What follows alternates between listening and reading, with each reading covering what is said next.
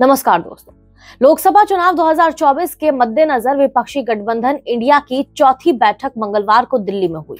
अटकलें लगाई जा रही थी कि विपक्ष के प्रधानमंत्री चेहरे पर निर्णय लिया जा सकता है। बैठक में पश्चिम बंगाल और दिल्ली के सीएम की ओर से अलायंस की, के पीएम कैंडिडेट को लेकर मल्लिकार्जुन खड़गे का नाम भी प्रस्तावित किया गया। जिस पर कांग्रेस अध्यक्ष ये कहते हुए इनकार कर दिया कि पहले चुनाव जीतना ज़रूरी है। बीजेपी ने इस घटनाक्रम पर तंज कसते हुए कहा कि वो चुनकर ही नहीं आएँगे।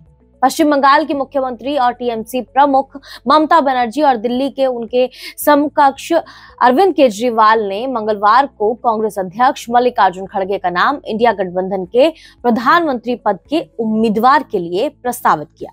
उन्होंने ये कहते हुए खड़गे के नाम का प्रस्ताव रखा कि वो देश के पहले दलित प्रधानमंत्री हो सकते हैं। न्यूज़ एजेंसी पीटीआई के मुताबिक एमडीएम के नेता वाइको समेत कई नेताओं ने विपक्षी गठबंधन की बैठक के बाद इसकी पुष्टि की और कहा कि कांग्रेस अध्यक्ष ने नेताओं से कहा कि पहले जीतना और गठबंधन की ताकत बढ़ाना अहम है। जबकि बाकी सब कुछ बाद में तय किया जा सकता है।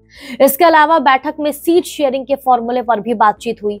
इसके साथ ही आपको बताते चले कि केंद्रीय संसदीय कार्य मंत्री प्रहलाद जोशी ने मीडिया से बातचीत करते हुए विपक्षी गठबंधन की बैठक और उसके पीएम चेहरे के मुद्दे पर प्रतिक्रिया दी। उन्होंने तंज कसते हुए कहा कि उनका इलेक्शन जीतने का सवाल ही नहीं है। बाद में क्या तय करते हैं? दरअसल, कांग्रेस अध्यक्ष मल्लिकार्जुन खड़गे ने कहा था कि पहले चुनाव जीतना है, उसके बाद पीएम चेहरा तय किया जाएगा। जोशी ने इसी पर कहा कि सवाल ही नहीं है कि वो चुनकर आएँगे। बहरहाल, देखना होगा कि विपक्ष की इस बैठक से उन्हें कोई फ़ायदा पहुँचता है या फिर नहीं।